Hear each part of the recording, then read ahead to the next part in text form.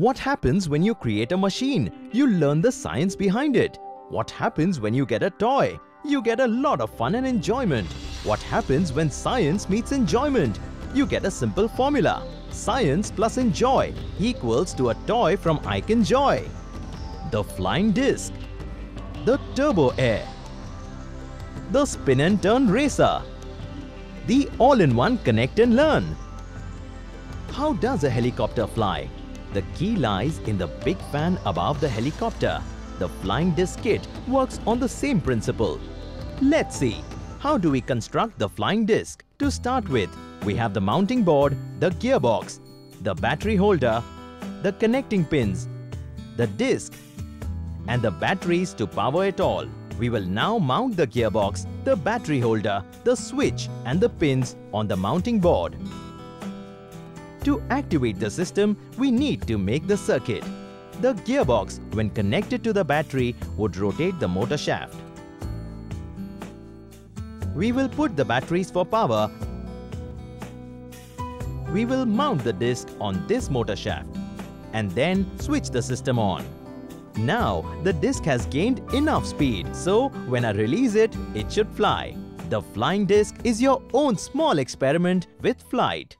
Which is the most critical necessity for an airplane to fly? The turbo air will show us the otherwise unbelievable concept of airlifting an airplane up.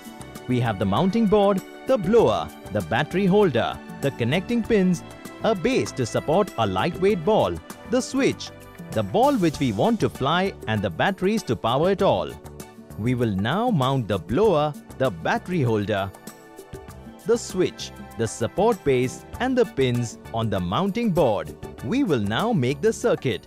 The blower has a motor operated system which blows out air when connected to a battery source.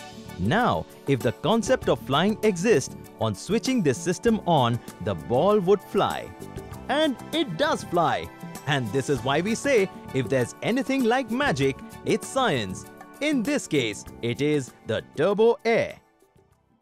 Have you ever made an automatic car? Make an automatic motor-operated car using the spin and turn assembly kit. Like any other car, we will first make the chassis or in simple words the basic body of the car. We will then attach the gearbox to the car. The gearbox is like an engine of the car. The next step is to attach the axle and the wheel. This axle wheel assembly needs to be attached to the basic car body.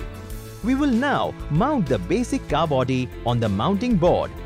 We can now assemble the front wheel and mount it on the board.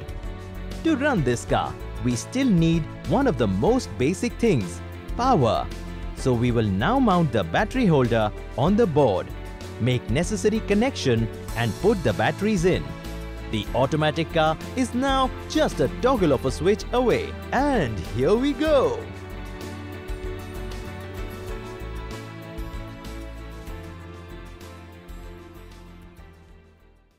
The all-in-one is a treat to science lovers. In one go, you can see four magical concepts of science. Hold your breath and keep watching.